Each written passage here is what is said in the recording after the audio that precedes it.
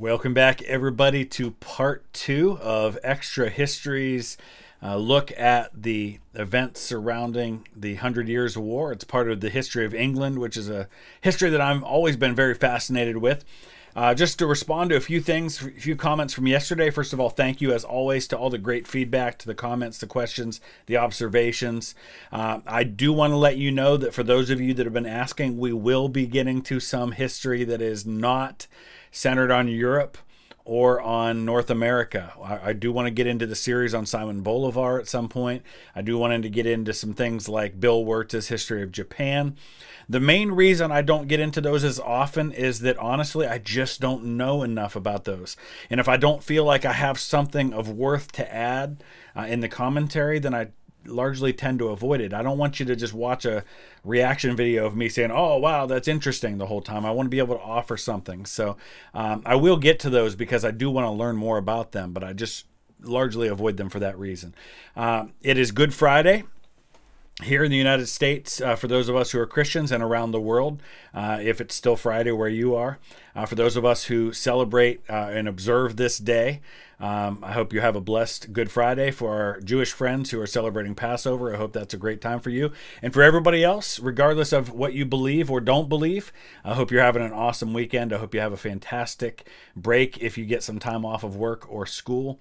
Uh, let's go ahead and dive right into part two. If you didn't see part one, there's a link in the description that'll take you back. The extra history of England. Once again, this spectacular tale will be told by David Crowther from the History of England podcast. And after last week's episode, Zoe and I have been debating all week on who's going to win this epic showdown between Edward and Philip. I'm glad it's piqued your interest. But why didn't you just research the answer yourselves? Well, Zoe not having opposable thumbs is a bit of a page turning hindrance for one thing. But more importantly, we'd rather hear you tell us what happens next. Well, in that case, you two, allow me to fill you in.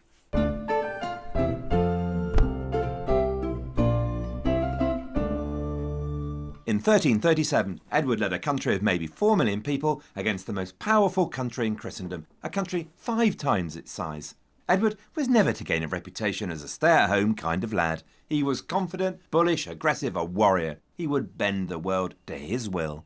Edward had a plan. In a letter to the Pope, he wrote, The best way to avoid the inconveniences of war is to pursue it away from one's own country. It is more sensible for us to fight our notorious enemy in his own realm. Edward would attack. He would follow the strategy of the chevauchée, a French word for raid on horseback. And this this idea that Edward had about not fighting in your own territory largely holds true for most of England's history. If you think about it, from the time of William the Conqueror uh, all the way up through the present day, there have really not been any enemy invasions of British home soil. Uh, you know, there have been fights between England and Scotland. Uh, but you know, no outside. I mean, there's really never been a French invasion of England. There were no other enemies that invaded England. Most, almost all the battles that take place uh, in Britain take place between fellow Britons, either England versus Wales, England versus Scotland, uh, English versus other English. Uh, but that's by and large true. All, pretty much all the fighting in the Hundred Years' War takes place in France. He would impose what he called fire and sword on the French countryside, marching on a wide 20 mile front a hideous wave of destruction and death, burning and killing everything in their way. His chevauchée would cause enormous economic damage. It would humiliate the opposing Valois King Philip and show Philip's subjects he could not protect them and that they should instead choose Edward as their king. Philip would be forced to come and fight a set battle where Edward was sure he could win, or at least that was the plan. Mm. England was small and insignificant, so Edward started by getting himself some big friends, including the Holy Roman Emperor, and the Holy Roman Emperor did not come cheap. But in 1339, Edward could march with his army into France, head held high, banners flying towards glory. And this is another one of those things that goes all throughout history is that because England is small, comparatively small to some of the other powers uh, in the in the region, like the Holy Roman Emperor, the Spanish, once they all uh, consolidate into one power, um, the French. Uh, so what he what they're constantly having to do is ally themselves with Spain and the Holy Roman Emperor primarily, and occasionally with France as well later on. So you don't go into war with a country like France without having some friends because you can't do it on your own. And he has to do that, but being a small country, he also doesn't have the finances to be able to sustain a force. So he's got to take large amounts of debt to do this. And this becomes the main problem is that he'll win victories on the battlefield, but he can't sustain it because he can't financially keep going. In fact, his banners were flying towards humiliation and failure. The Holy Roman Emperor liked his gold very much. He was less enthusiastic about doing anything for it, such as supporting a balmy English loser. So he chilled out at home, spent a quiet night in with his gold instead. Edward's campaign of 1339 went nowhere. His useless allies had cost a fortune, and by 1340 Edward had a pile of debt so high he could hang glide off it. And he was forced to borrow more and more from Italian banking houses. In Gascony, the war was going badly. Worse, the French took control of the English Channel with a large, well equipped fleet against which the English could throw up only merchant ships. Edward's councillors, his naval captains, and his nobles told him he could not break the French blockade. But Edward was angry and would not listen. He snarled at his council, I will cross. And now, you know, this whole thing with the ears, you know, that's something you think of kids doing. There's actually a history behind that, and it goes all the way back to, of all places, the Bible in the Bible, in the book of Acts, there's a story. Uh, the first recorded Christian martyr is a guy named Stephen, and Stephen is preaching to a group of Jewish uh, leaders and uh, trying to win converts. And it actually says in the book of Acts that they covered their ears and shouted at the top of their lungs as they were starting to stone Stephen, and they eventually killed him. Uh, so this whole la la la la la thing that kids do, adults did it all the way back in the Bible. It Just has nothing to do with what we're talking about, but I, I happened to think of that when I saw that that graphic of him with his fingers in his ears. And you who are frightened where there is no fear, you may stay at home. And so in 1340, the King of England, Edward III, against the advice of all his experts, attacked a navy almost twice his size head on near the town of Sluys off the coast of Flanders. And surprise! To the amazement of France and all Christendom, Edward won. 18,000 French sailors lost their lives. But while Sluys was a great victory which gave England back control of the English Channel, success on land still seemed a long way away. The only way Edward could get the money he needed to carry on was by Parliament voting him a special tax. So Edward went to Parliament to ask for the money, but Parliament was tired of the expense of Edward's war and refused. And this was really one of the few things the king didn't have the power to do was levy a tax ever since going all the way back to the time of King John when you have Magna Carta, uh, where you have for the very first time the barons uh, or the nobles beneath the king um, asserting their own rights uh, to kind of, um, I don't know what the word I'm looking for is, to um, kind of put limits on the king's power. Uh, the one big thing that came out of not only that, but out of um, folks like Simon de Montfort later on who were fighting against the king uh, is they were fighting for the right to have some sort of say in government and in decisions. And, and one of the big things that came out of those generations of uh, civil wars or revolts against the king was that Parliament had the power to issue tax.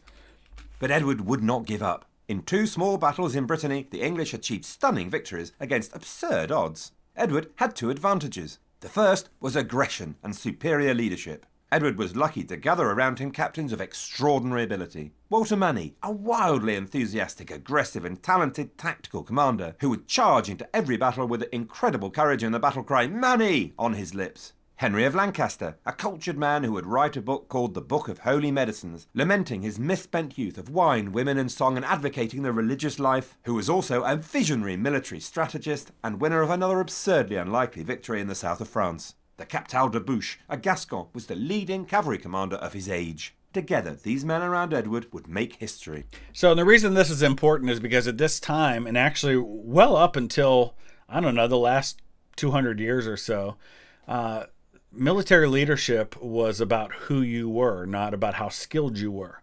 Um, if you had a title, you had power and you had authority on the battlefield. And so it wasn't necessarily the case that the cream rose to the top, that your best military commanders were the people that were running the show. It was who the powerful nobles were.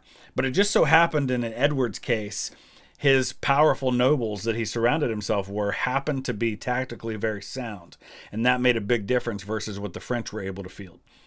The second was that the English had taken the rulebook of medieval military tactics, torn it into tiny, tiny little pieces, rewritten the rules, stamped on the tiny pieces of the old rules, ground them into the mud, and danced on them.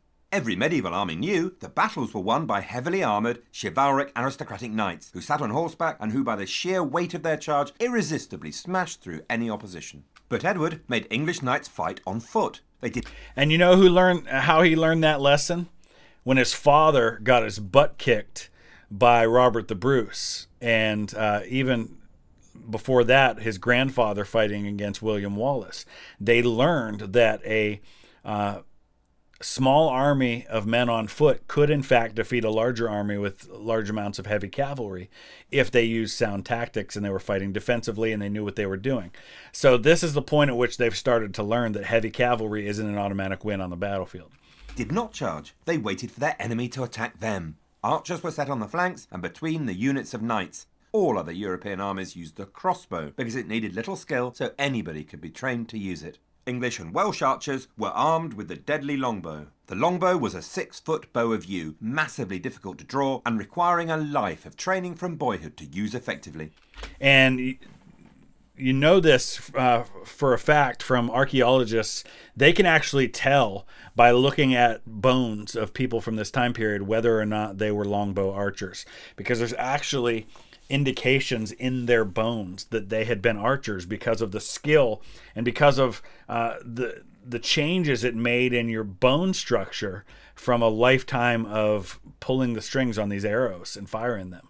Handily, that's exactly what they had, since in all the villages and towns, fathers and sons practiced every week. The longbow had a longer range than the crossbow, hit like a truck, and could penetrate all but the best plate armour. It had a much faster rate of fire than a crossbow. Each longbow could fire a deadly storm of six arrows a minute. Edward would teach the French that the most powerful weapon on the battlefield was a lightly armoured, low-born peasant.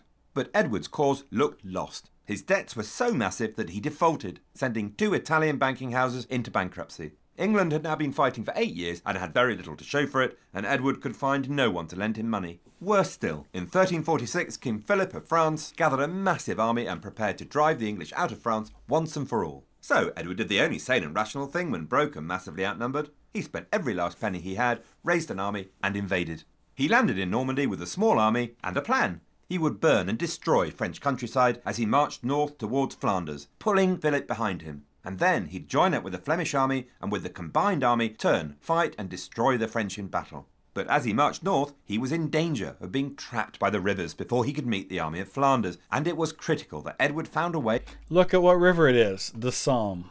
Boy, where will we hear that name again someday? Over the River Somme. Desperately, the English marched, the French snapping at their heels. Again and again, the fords and bridges were held against them. And then one night, as the French were closing in, they found an Englishman living in France, and he told them of a secret ford marked by a white stone. It was called Blanchetaque. In the dead of night, the English slipped over the ford and were away.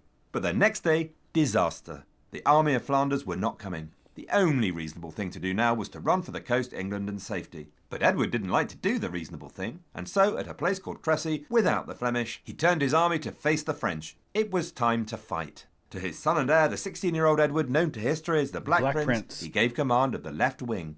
As Philip marched his army towards Crecy, the roads were lined with French shouting, Kill! Kill! On the 26th of August, 1346, Philip's army drew near the English force. The French were strung out for miles. Philip's best commanders advised caution put on those comfy gym jams the Queen gave you last Christmas, don the royal slippers, get a good night's snooze, and let everyone catch up, then drown the English in a river of their own blood after a light breakfast. But Philip looked at the puny English army, now less than one third his size. He looked at the contemptible English peasants and their bows. He heard the cries of kill in his ears, and he ordered the attack.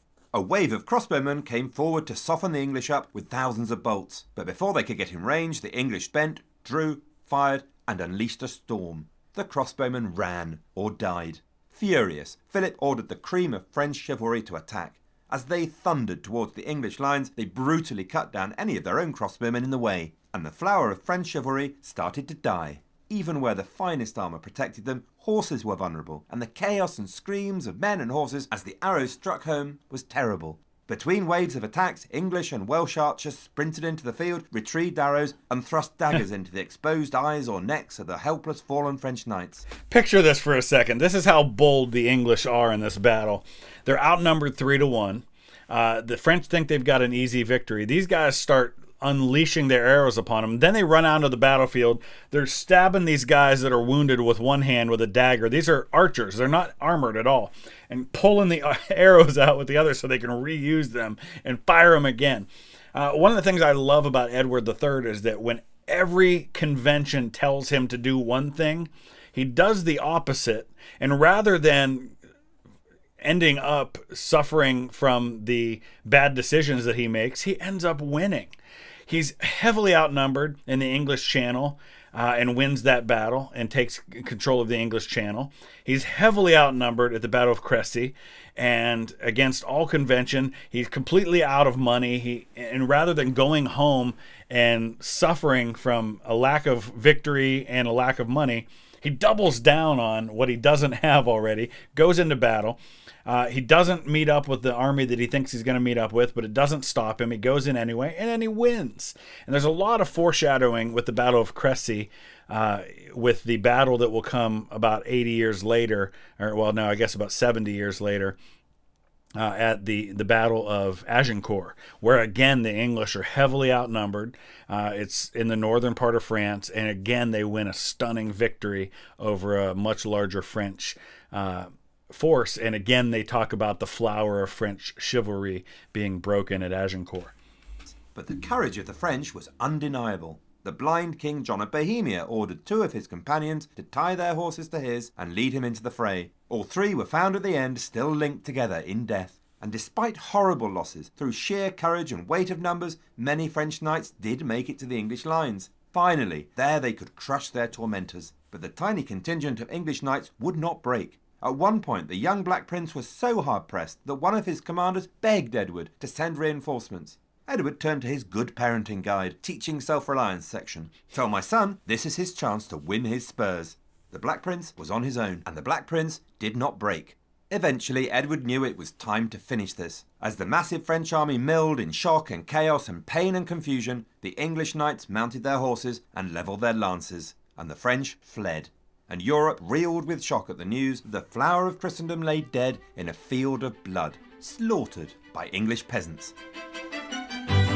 So, yeah, great victories against all odds by Edward III, but this thing is far from over, and there are much greater uh, problems to come that have nothing to do with what happens on the battlefield for Edward III.